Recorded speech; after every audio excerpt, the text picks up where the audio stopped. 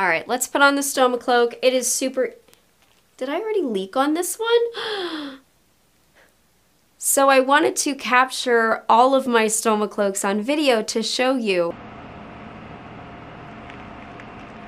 And so I put this one on just for a couple seconds. It was freshly washed.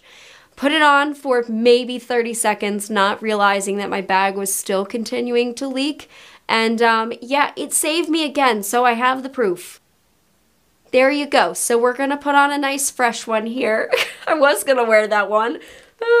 I'll put it in the wash. I can't believe that I, well, I got you guys a full example of how it catches my leaks.